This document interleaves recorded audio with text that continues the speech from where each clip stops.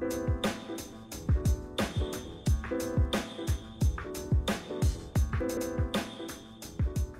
my name is Simon Snelder. I have a special guest for you on this podcast. His name is Miro Fok. He is the founder of Vita Virtues. Miro, welcome. Thanks. Thanks for having me. I'm happy to be here. Uh, it's been a while, I know. You've been asking me to, to come on this, so I'm excited to be here. I'm excited to have you here, and uh, I want to know a little bit more about yourself. Like, what what has your journey be? Where did you start it? Where are you right now? Um, yeah, so I guess I'll start off just telling a little bit about myself and how I got here. Um, so my journey really started. I'll, I'll start with my, we'll say my professional career with insurance, particularly. Um, in 2008, when yeah. everything sort of went down in the dumps, I was working for a, uh, uh, an, a financial advisory in California at Wells Fargo. Well, actually, it was previously previously called AG Edwards, and then we got buy, bought by Wachovia, and then we got bought by Wells Fargo, all in about a span of about six months. Wow. Um, yeah, and that's when I thought I wanted to be uh, a financial advisor and um, do retirement planning.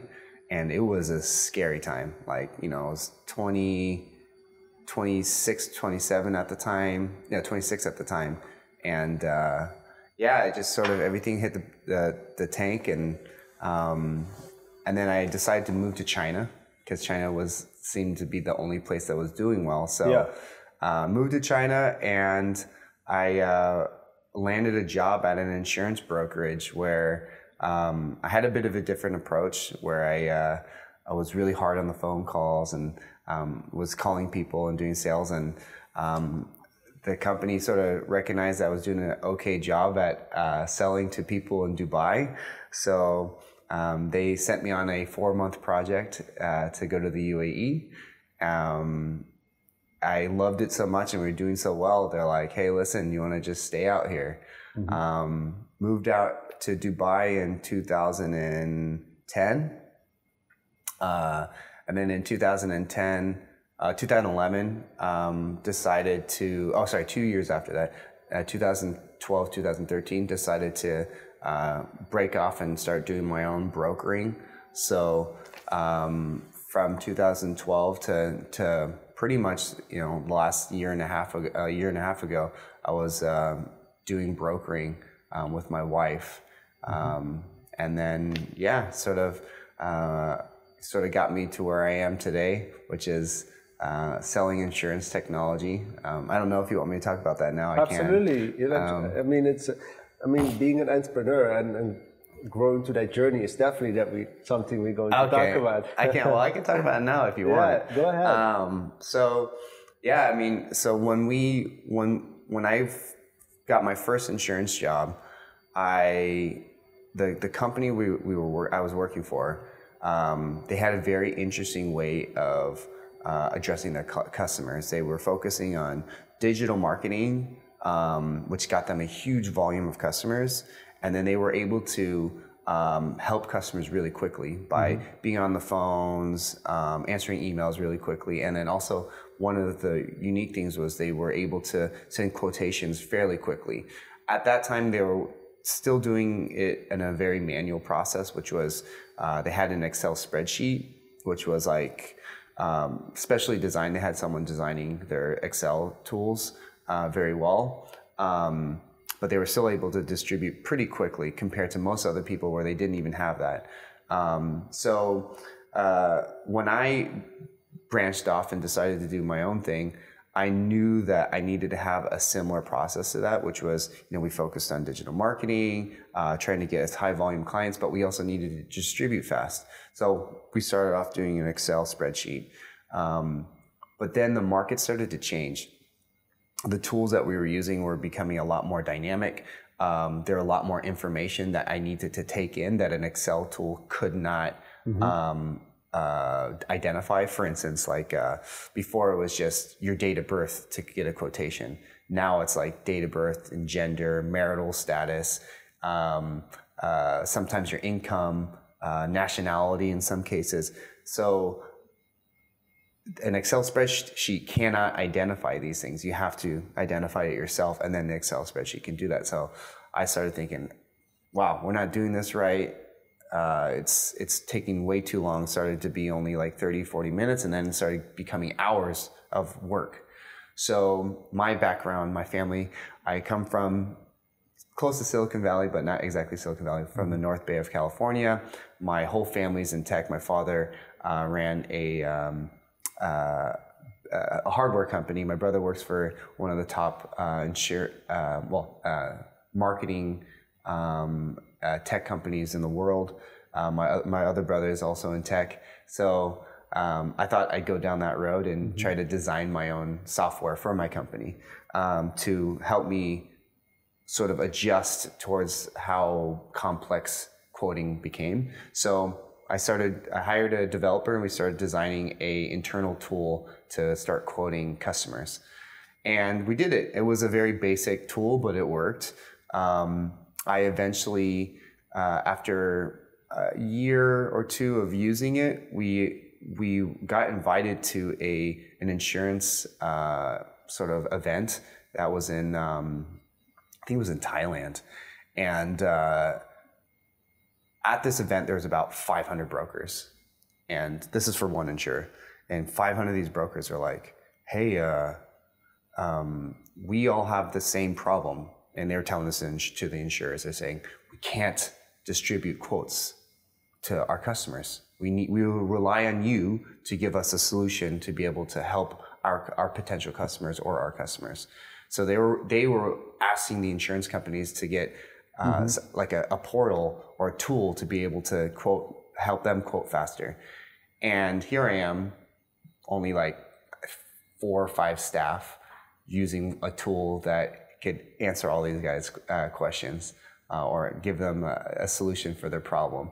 And I was like, maybe I should turn this into a product I, I could sell.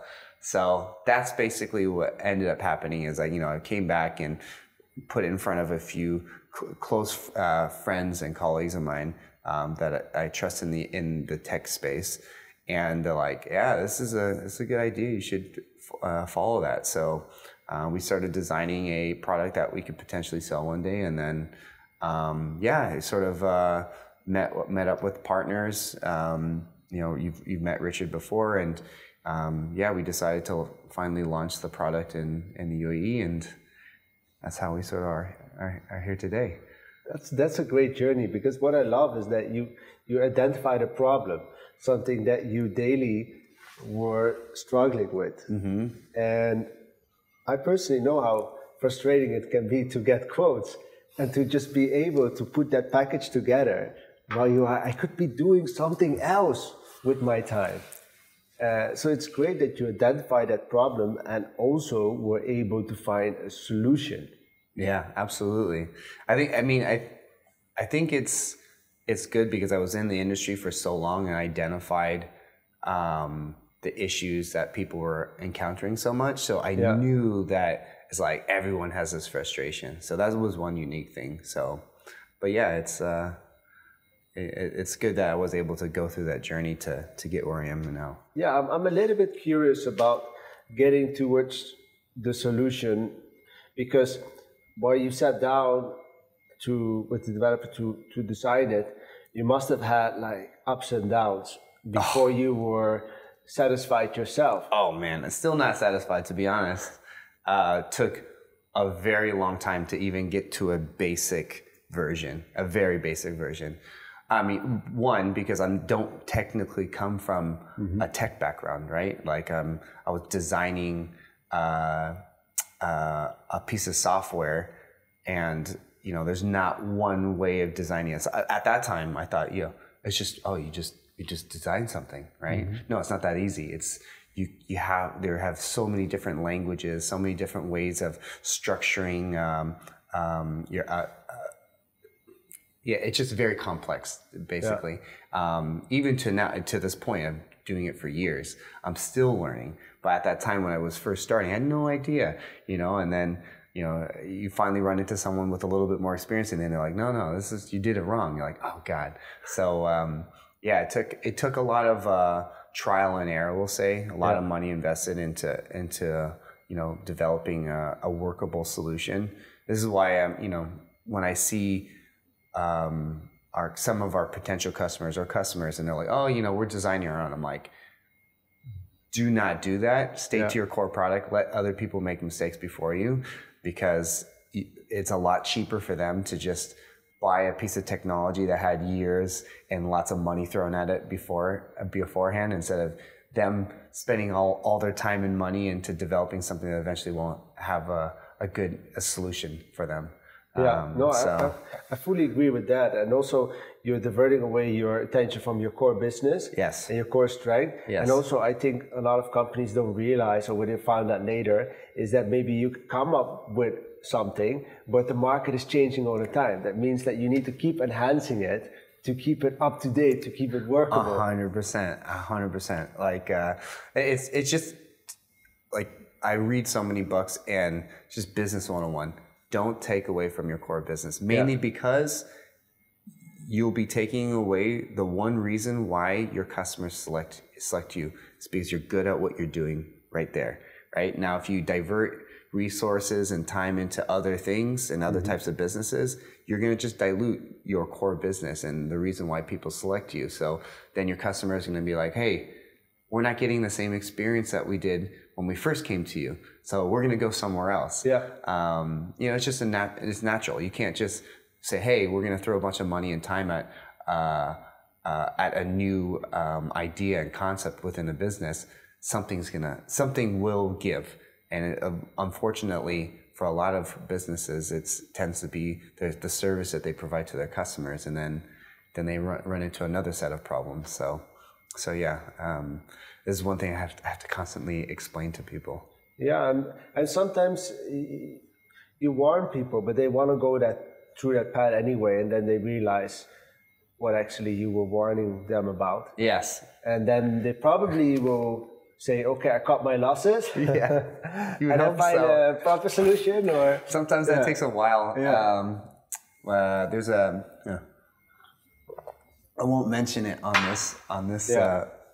uh, uh, the name of the company, but there was one company, um, an insurer that spent about a million dollars in investing into a piece of software that was essentially a CRM, um, and then after I think a year of development, they ended up canning the project because it just didn't work. And I, I, I was mentioning this to a few colleagues, and you know, if they just spent maybe a quarter of this with Salesforce, you know, they, they assign you a, an engineer to, to, to, to literally develop whatever needs you want. Like, hey, we want this software to do this. They will design it for you. Yeah. Um, you know, but it took them a million dollars and a year of development for them to learn that lesson, unfortunately.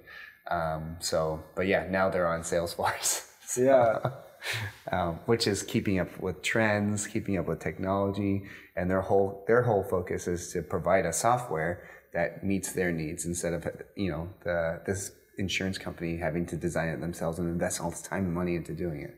So what do you think would be helpful? Because your your your company is providing fast quotes, accurate quotes, quick overview of quotes, and then you have the other part as well, where the quote comes to the potential customer or to the client.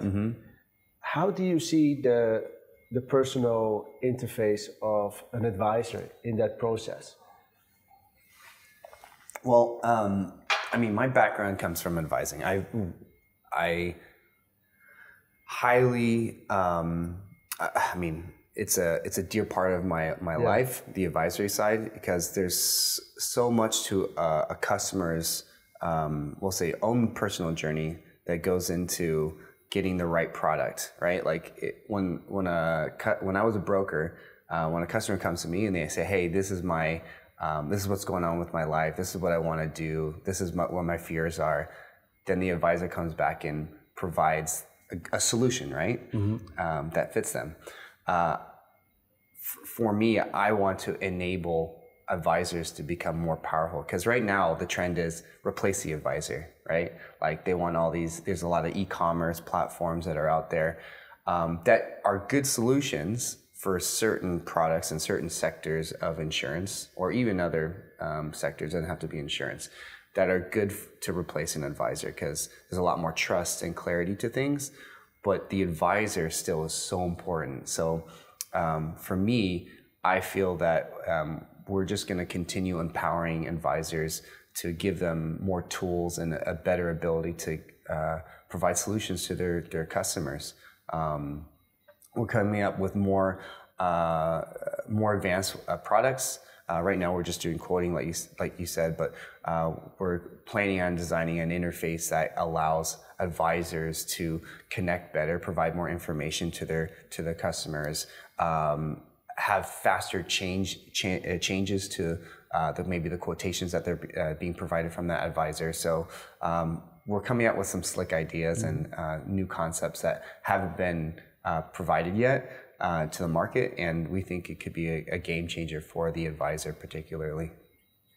I, I fully agree with that. That it's very important to to identify the, the pro and benefits of, of an advisor and non-advisor tools that, that are there in, in terms of like the you know the, the, the changes you see now with websites and, and other platforms where you can directly get a quoting system and you never interface with an advisor but um, I just had like a gentleman walking into my office a couple of months ago and he said I have two life insurances one was sold to, to me by a bank and one by another advisor from another firm. So I sat down with him and I went through it. And I'm like, this is what this product is. This is what that product is. What do you want? Is this is what you wanted? Yeah. And, and this is what you want.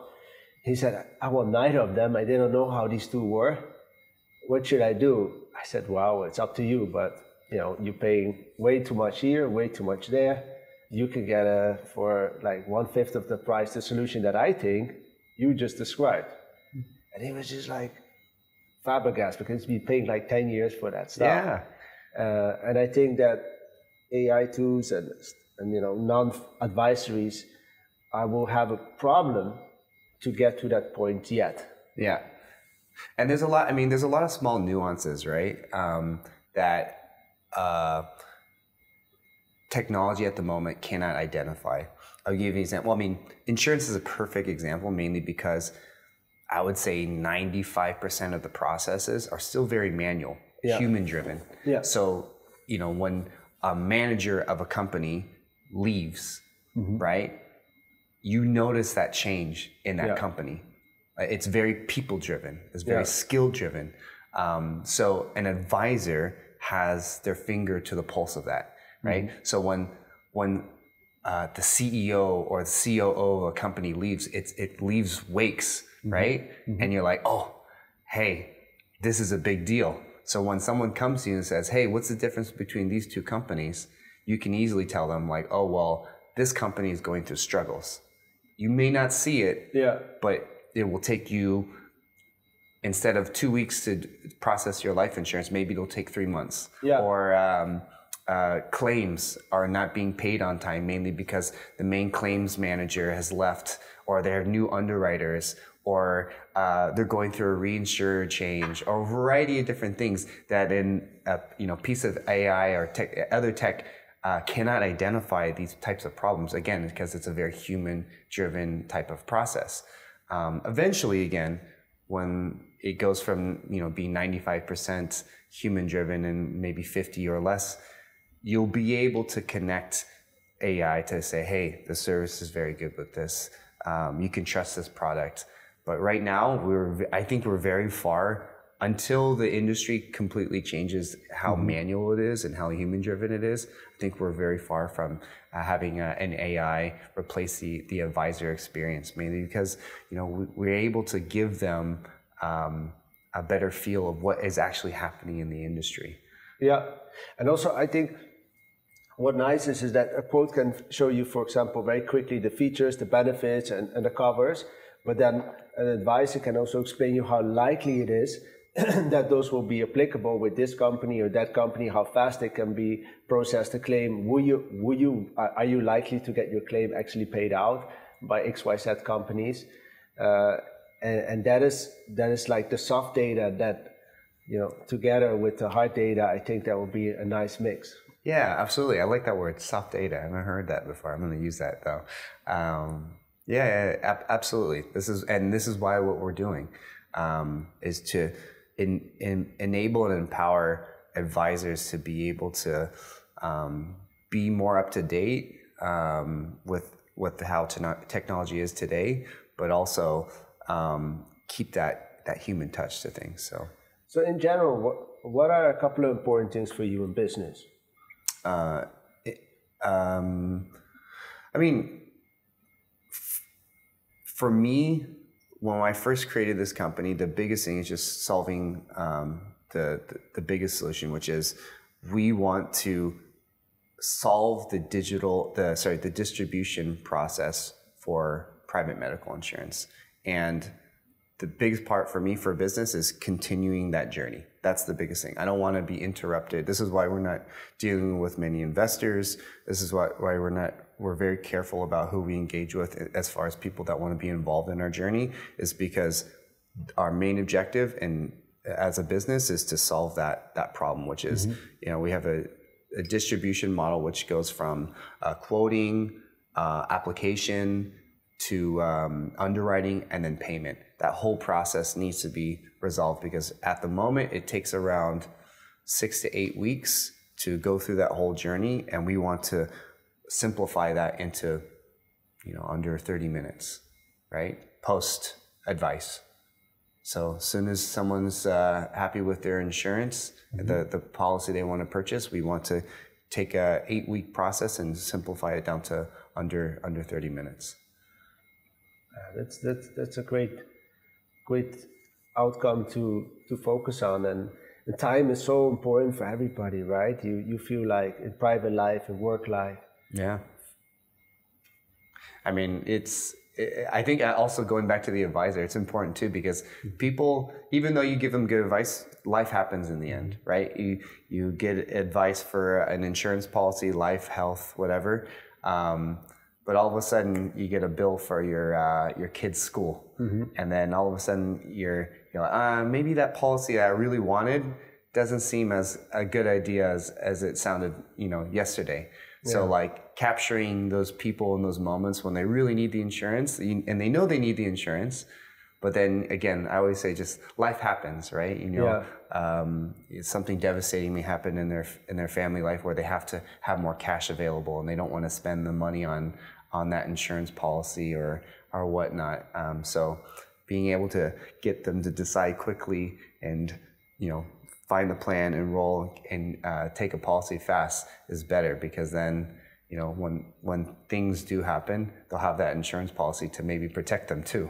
Uh, yeah, absolutely. And I, can give you a real life example. I have a client of mine, and she wanted to take a medical insurance for her mom that was visiting, and they ended up staying longer because of COVID. In the end, she did not do it because the process was a little bit too complicated. So she took a travel insurance. Her mom got sick here. She ended up paying a lot of money out of her own pocket. And now she going back, she's like, I, I wish I just quickly could have gotten an overview, select something, do it, not the hassle. While you know I'm busy with my work, my private life, and then doing this on top of that. I'll, I'll give you an example, personal example that it happened to me years ago. Um, you know, I, I, was advising a, a customer that uh, um, we wanted a medical insurance policy for his family, but he's like, you know what? Um, let's put this on hold. I'm going traveling for mm-hmm. a little bit. When I get back, I'll finish the process. You already decided this is what he wanted, but he just didn't want to complete the application mm-hmm. because it, the application process. I mean, to complete everything by hand, and at that point, everything was by hand. There was yeah. wasn't these, you know, um, Adobe or DocuSign around. It was mm-hmm. still printing it out, uh, and it still happens today, unfortunately where people have to print it out, sign it, oh, um, go through the pages, and it's simple information. It's not complex information. Yeah. But this takes you know 30 minutes, an hour of your day, right? Sitting down and going to do it. I'm not talking, you know, if you were to do it straight, it would take maybe 30 minutes or, or, or an hour. But life gets in the way and in the end it takes a few days to do because oh you do page mm-hmm, one and 2 mm-hmm, and then mm-hmm. you got to take your kids to school and then do three and four and then you got to go to work and five and six okay you got to do dinner so by that time it takes a can take weeks so he's like yeah. you know what i'll do it when i get back i'm going yeah. on vacation yeah. right go to oh, they're going on a wedding wife's dancing on the dance floor and she tears her ACL, PCL because she fell down um, uh, dancing. Gets back, all of a sudden she can't take the insurance. If they would have, it would have been a simple, simpler process. They would have had the insurance. They would have been covered for this terrible accident, uh, and not have to pay higher premiums for the insurance now because they apply have to apply after she had an injury. Yeah. So it would have saved them thousands of dollars just because they weren't able to sign up fast enough, right? Yeah. They still wanted to take it. So yeah, you know, these are the problems. And again, you know, I, I give one example, but yeah, this happens every day, right? So. Absolutely, absolutely. It's a, it's it's an extra blockade for people. So, so this person wanted to do it. It was just like the hassle that stopped it from moving it fast forward. Yeah. And in general, for you in business, like who do you look up to? What are what are your? How do you learn? How do you get food? Yeah. Well, um, I mean, I have so many mentors uh, in my life. Either mentors in books. You mm-hmm. know, I have I I've I've not met a lot of my mentors, but, I get their lessons through books. Mm-hmm. Uh, and I have a lot of mentors that I, I speak to on a regular basis. Mm-hmm. Um, I think my first mentor, uh, I haven't been engaging with him um, much these days because our lives have uh, gone two different directions. Uh, I met him when I was a lot younger, but my, I have an uncle in Hong Kong, uh, Uncle Jerry. Uh, this was the first time I ever met uh, an entrepreneur that was doing what he loved, and mm. um, just the way he would engage in business, the way he lived his life. I, um, you know, in Hong Kong particularly, I just I looked up to him and said, you know, this is how I want to live my life. You know, um, this is how I want to do business. So yeah. um, that was the beginning of my journey, just seeing how uh, a person outside of America could live. Uh, I'm sure many people like this in America could uh, live like my uncle Jerry, but not not in my circle, mm-hmm. not where I was living. Um, maybe you find this in parts of LA or New York or something like this, but uh, it was wild to me. So then I, my my first uh, person I looked up to was uh, Tim Ferriss uh, the uh, author of the Four Hour Work Week, started just mm. consuming that book, uh, read it maybe two or three times, um, and then sort of just put me on the journey of being an, an entrepreneur, mm-hmm. um, traveling the world, taking advantage of of uh, currency and labor, and um, trying to build a business uh, on a very uh, efficient and effective way. Um, and uh, yeah, I mean, you know, moving to Dubai, you meet so many creative minds and amazing minds. So I have a, a variety of different um, mentors that I, I, still tap in today. Um, a couple are business partners of, of mine now. Um, I have a, a, a good friend of mine. Uh, we went to university together. He's he's a business partner in, in our in our uh, Envita Virtues, and yeah, he's one of my closest mentors because he's gone through the journey already. So like anyone that's gone through the journey that I want to, that I'm going down right now and I want to, you know, clean exit, these are the best people to pay attention to. And he's got so many stories and so many analogies to give. Um, these are the people I sort of surround myself with these days as uh, people that have already gone through that, that sort of journey before. Do you, do you seek them out on purpose or do you bump into people like that, or do they come to you? I I mean, I definitely seek them out on purpose, um, mainly because like, yeah, if you sit back, I mean, you have to. Yep. I guess I'm an energy person. You have to put it out there to yeah. to receive. Yeah. So like, I definitely uh, put put out my energy that I'm looking for guidance. Mm-hmm. So like, Andrew is a business partner of mine. Mm-hmm he's not someone I was looking to bring in as a business partner, but I definitely needed his advice. So I reached out to him because he's a good friend of mine. I said, Hey, man, I have this idea. I'm running this business. Um, what do you think? And he, as a friend, returned that information. Mm-hmm. And just through exchange, we just began a business uh, relationship together, mm-hmm. uh, which just turned into a mentorship over time and then a partnership over time. Um, so yeah, I mean, I think I do ask for it, not directly necessarily, but I definitely put that energy out there that, you know, this is what I, I want. And energy, Yeah. the, the, the universe sort of returned that. yeah, you, you you're accessible. You're open to learn. Mm-hmm. You, you know, it's also a little bit like humbleness that you know you put your 100%. ego aside. Dude, I am. I try not to Yeah. try not to have too much ego. Obviously, there's always moments, but definitely knowing that you're not the the smartest person all Yeah. the time is a good thing, in my opinion. I feel like if you have this mentality that you're the smallest person, I don't think you'll learn. Yeah, Right? true. I, I heard somebody say was if, if if you're the smartest guy in the room, get out of the room. yeah, yeah, yeah. You're definitely in the wrong room in that in that case. Uh, I agree with that statement. Um, I am constantly around people that I learn uh, that correct me on a regular basis. So I think that's a, a, a good thing for me, particularly. No, I, I'm I'm definitely a, a, a big uh, advocate of uh, mentorship and um, and also like digesting information. It's it's very satisfactory for your own journey, but it can be also so helpful in business, right? Because they can just grab that moment where you are maybe struggling, and out of their experience and knowledge, can like show you suddenly a different curveball, and then Yeah. you're like the light bulb moment. Yeah. And how long would have that taken you on your own? Yep, hundred percent. They shorten they shorten paths for me. Also, I think the other thing too is like being an entrepreneur, particularly having mentors, is is so important mainly because only other entrepreneurs that have gone down that journey Yeah. or are in that journey will understand what you're going through. Like truly, like it's not an easy ri- mm-hmm. path. Mm-hmm. And we, and I, I say this on a regular basis. If it was easy, mm. then everyone would be doing it. But you know, there are are hard times. There's great times, but there's a lot of hard times in running your own business. And having a mentor that's already done it before, they know what you're going through, so they're able to, you know, set your mind straight. They're able to keep you on a, a, a on keep you on the path that you're wanting to go down. Because Yeah. sometimes you just you're thinking all sorts of different things, or you're on a down or whatever, and they're like, "Hey, stay focused. Don't worry. Keep pushing. You're doing the right thing." And um, yeah, it's you know they it's so helpful in the end to have again particularly mentors that have have done it before How important is focus for you?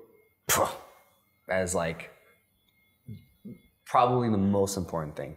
Like being focused on um, on the concept being focused on your business being focused not even just business but just when when you're running multiple things right? Um, you you you only have so many things you can focus on. And if you're uh, uh, if you're not focused on those few things you just your life will just be chaotic in my opinion Yeah. so for me it's basically a focus on three things right business my personal self which is like um, you know uh, my physical practice Yeah. and my mental practice and then my family those are like the the three things I focus on. I unfortunately had so many other things I was focusing on before starting another business, and um, it's just too. You, you only have so much time in a day, so being focused on your your core um, areas is important because um, I think I think you just take away from the most important things in your life, which for me again are my business, myself, and my family. What is helping you to bring your focus to the right places? So again, I, the going back to mentors, that's one helpful thing for business is, um, you know, there's a lot of things that can take you out of focus for your business. It could be on product or um, your business mo- model, whatever it may be. Your mentors are like, hey, stay focused. This is what you're, that this is what we're planning on doing, and let's accomplish that. For myself, um, I uh, I now have a routine of um, mental and physical improvement. So, like for instance, I do yoga at least twice a week. Um, this is I'm not very good at meditating. I try to improve on this, but uh, there's a form of meditation in yoga. So it's like a two for one. You know, it's a good physical practice, but also a great mental practice. Yeah. Um, I surf. So like surfing is just like a deep passion for me. Yeah. Um, it's something I hope to be able to do until I, I die. Um, uh, and that is again a good physical and mental practice. There's no, it, there's probably elements of meditation in there, but not like yoga particularly where they like help you uh, guide you in, in meditation. But um, that's another uh, aspect of my sort of physical and mental. And then I just recently started doing um, cold plunge in in sauna. This is like a huge physical and mental practice for me as well. Like that cold plunge, wa- cold water, sort of like sort of sucks in everything, and you have nothing else to focus on but your breath, and because your your your body's so much in shock, right? So I think these uh, sort of activities help me with my physical and mental practice. And in my family, what helps me with focus for that is um, I've read a lot of books that have helped me get particular routines in my life that will allow me to always focus on my on my family. So um, there's not one book I can give you as a reference. You know, there's maybe three or four that I've read that got me to where today. But I'll tell you my routine. So every morning I wake up, I have a reminder uh, uh, at uh, around 7.30 uh, i get my first reminders which is uh, gratitude. So i, I remember uh, to always be grateful for my, my life and my family. So i sort of take a 15 second moment where i just think about my family and my you know the, Yeah. the life that i have and be, be very grateful for that. And i tell it doesn't matter. Sometimes it just sort of becomes routine but yeah, i try to always tell myself i'm very grateful for my life and for my family. Um, and then the next one is the next reminder I get is uh, kiss your family and level up. So kiss my family is so I, I give a kiss to my wife, I give a kiss to my son, and this is before I look on Instagram. Well, I don't use Instagram anymore, but like LinkedIn or any yeah. kind of social media. Uh, it was a, as a bad practice before having all these routines, like going on my social media first thing in the morning. No, this, I cut this out. This is one of the things I didn't have time for anymore. Um, and just focusing on just, hey, I'm gonna give my my wife a kiss. I'm gonna give my son a kiss, and you know, focus on that. Um, so that's one part of my routine, and then uh, another one is uh, every two weeks I have uh, I write a letter to my son um, to just recap what our life is at at that moment, and just giving my my two cents. So I have a lot of these sort of family reminders um, to uh, invest in my family, to focus on my family, which is like again very important to me. But life can get crazy, right? Yeah. Like if you don't have these reminders or someone telling you, you can just blink of an eye. A month has gone by, and you know what have you done with that month? Have you spent uh, time with your family? Have you spent time with your business? No, maybe you're messing around, you know, going out on the weekends drinking, or you're uh, um, just yeah, just wasting time doing doing something that doesn't bring you value. So um, I have these constant reminders telling me focus on what's important to you. So yeah, That's, that's very nice. Uh, I, I like uh, a lot of those things that you try to to enhance in your life to to make you aware of what you have. Mm-hmm. Like, to, like you said, be grateful, right? Don't don't only think about what you don't have, yeah, but look what you're waking up to. Absolutely. Look the life, the people you are with, your family, and where you are, where you come from. To, to have this. I uh, I agree because uh, you know a lot of people. You look at someone else. I mean, Dubai, it's really easy, right? You can look at someone else driving their yacht. Yacht, you automatically feel like you're a poor person. Yeah. Um, but if you look at the guy that you know just was the labor worker that has been building the buildings around here, us today. Yeah. You know, you, you can become you're you're. Uh, the richest person in the world can, when that person looks at you. So it's all all relative, right? So Exactly. um, so just be grateful for where you know being healthy, being having a family if you have one, for whatever it may be, but uh, making sure that you're grateful for it. Yeah, and uh, I like the connecting part as well. That you want to find moments to to also connect with with each of those components, Yeah, like within your family, with each member, within your business, to to know that you're you're, you're there as well. And, and also, it's important to have your own time as well to connect with yourself as a well. hundred percent. I think it's so important. Before I actually, I wasn't focusing on that for a Yeah. period of my life, and you know, if that breaks down, everything breaks down. Yeah. So you have to be a little bit selfish. Yeah. You have to be. Like it, it's tough at times, especially when you have like so many things going on, and it's Yeah. you know you have family and friends and stuff like that. But you need to take moments to be a little bit selfish because if you're not, and your body breaks down and your mind breaks down, everything else will will Yeah. fall. So before I switch uh, away from focus, I just wanted to say or ask you how important is it to say no in order to say yes? Oh man, saying no is, is so important. I love saying yes because I'm such a yes Yeah, person. That's me like too. like that's I grew up like everyone loving me. Like, yeah, you're always you're always down for everything, Yeah. man. You like you say yes to everything. Now it's just like, yeah, just making a practice of saying no. It's it's super important. I you know it's tough to do. Yeah. Um, I guess if you're someone like myself that likes to be liked all the time and likes to be uh, doing things that are, yeah, I I get crazy FOMO on a regular basis. Um, but uh, being able to say no is uh, is I think really important for you to uh, stay focused to your objectives. Is because you cannot do everything, unfortunately. Um, so It takes away, right? It takes away from so much things that. And then when you do say yes, when you do say yes, those yeses are way more meaningful. exactly. significantly more. Yeah. So, um, unfortunately, it's uh, you have all these pressures around you that you want to constantly say yes Yeah. to, but it takes away from some greater rewards in there in, in the future that you say yes to. Like, yes, I want to buy that dream house, or Yeah. yes, I want to buy that dream car, um, uh, whatever it may be. So, yeah, that's that's a that's a great uh, question. I like that. Yeah, thank you.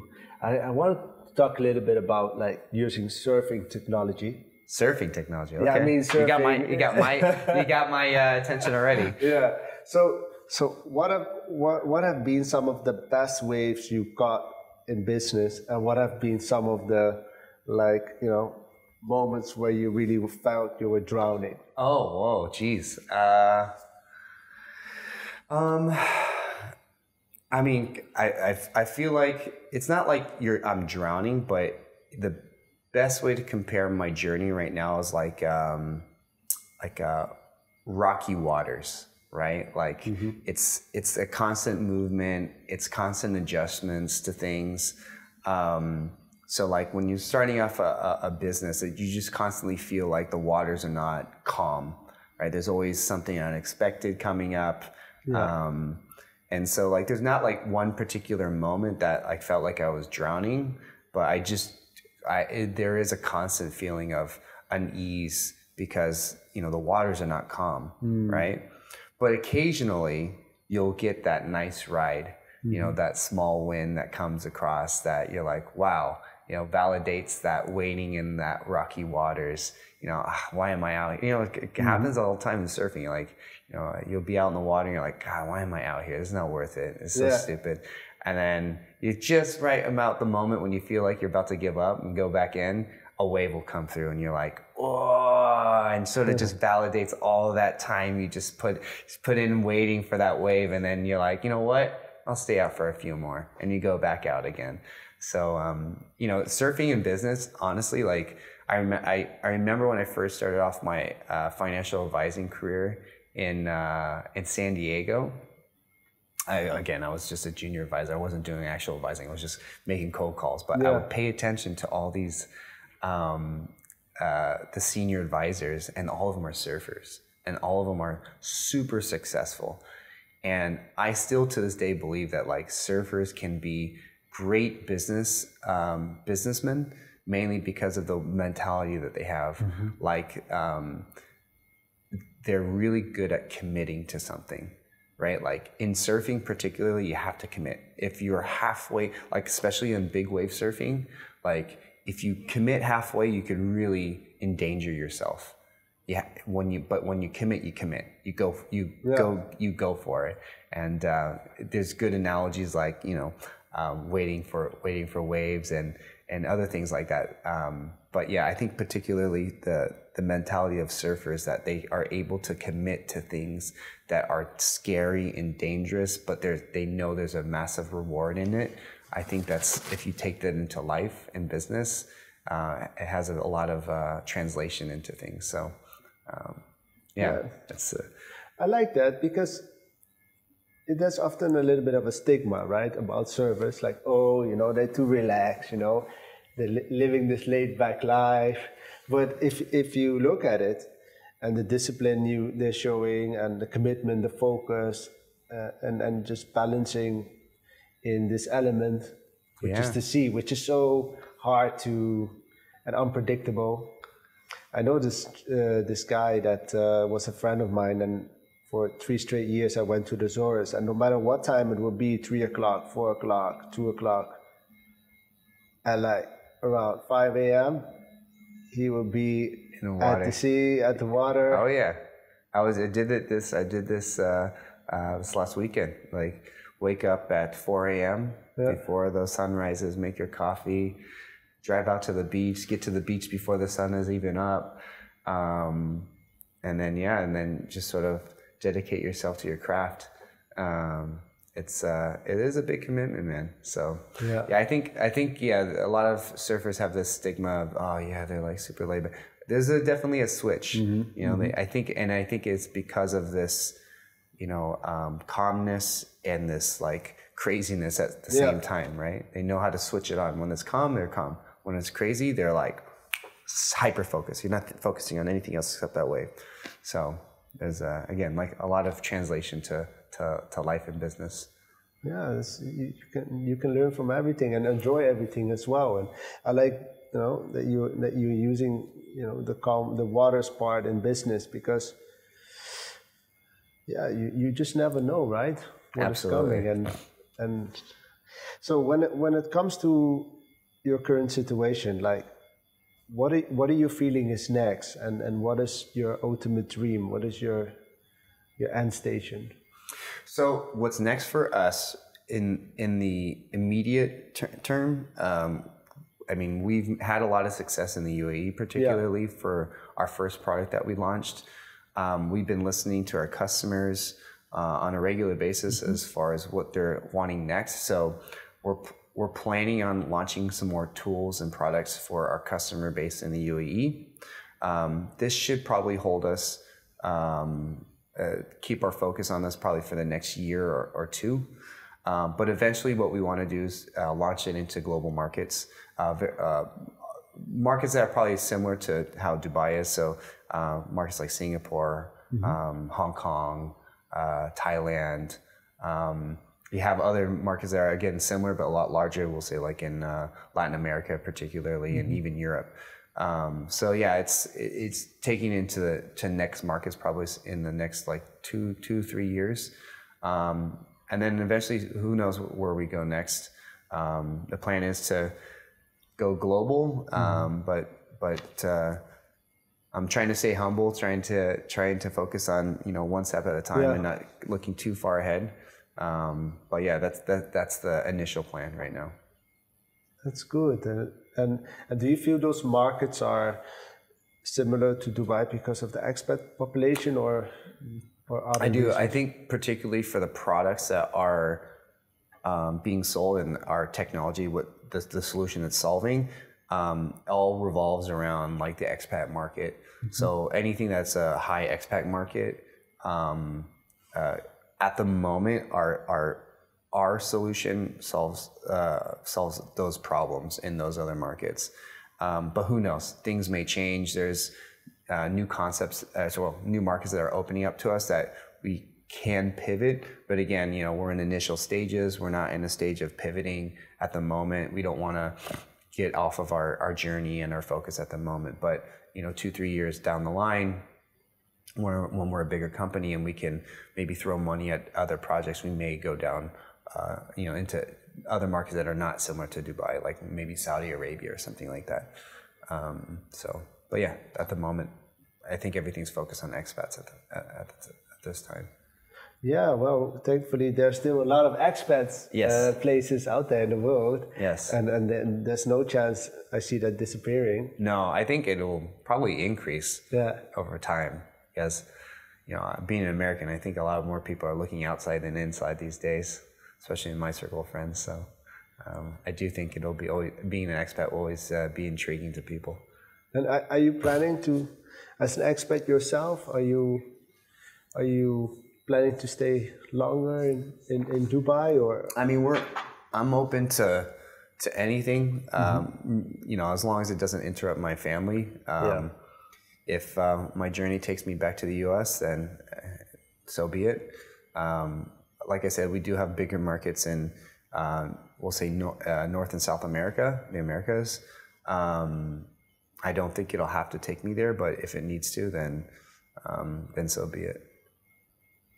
Yeah, one step at a time. But I'm very, very curious to see the journey. For that, we had also your business partner Richard here, and it, uh, it was also very interesting to see his, see his journey and your journey, and some there's some commonalities there. With, for example, both of you have been in in China, worked in China Yeah. before you came to Dubai Yeah.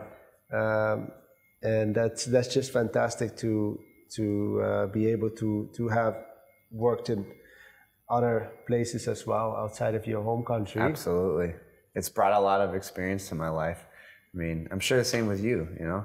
Like, uh, it, when you compare your friends that have, have not traveled and lived outside the country to, to yourself, it's, I can only describe how I am today um, because of because of the experience I've, I've gotten outside of you know where I'm used to where I'm where I, I grew up in. You know I Yeah. wouldn't have been I am not the person I am today mainly because I lived in China and I lived in Dubai. Yeah, and uh, you know I've been to other places in the world where you can open up your mind to different perspectives exactly, and, and it helps you also in business, right? Your your end customer is an is an expat, and you want you can identify also better than yeah absolutely with the end customer.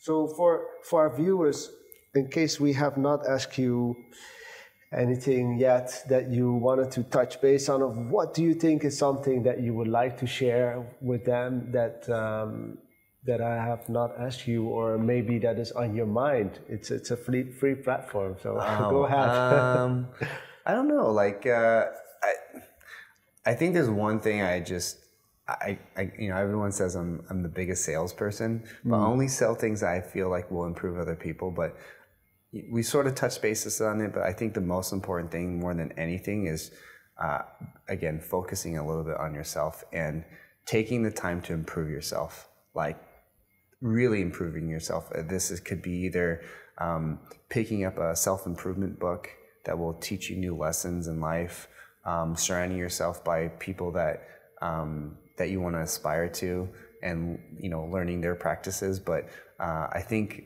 I think a lot of people stop um, after school trying to improve themselves. Like when you go in school, like they force you to improve your education and y- your mentality. But once you get out of school, you a lot of people already assume like I've learned everything I need to learn, right? I'd say the majority of people are like this. But having a self improvement practice is super important, and I think it's uh, often lost by people. Um, so like.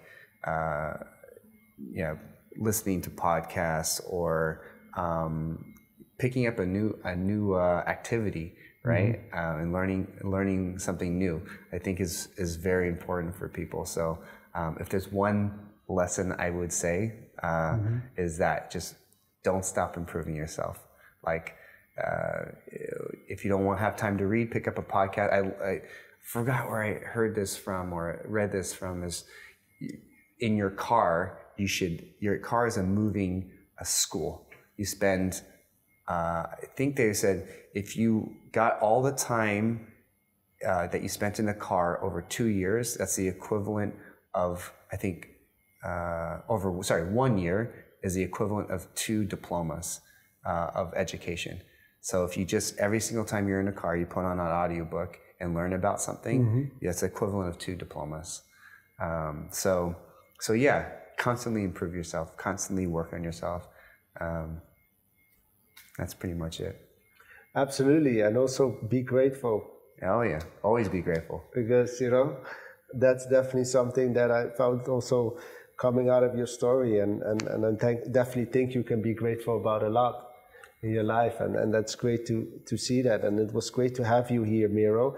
Uh, you know, you're the founder of Vita Virtues, a company. You're at the same time also focusing on uh, on other components in your life, and it was great for me to hear your story, and for the people listening to uh, hopefully also enjoy uh, a podcast together. Oh, thank you very thank much. you for coming. Oh, and thank you for having me. I really appreciate it.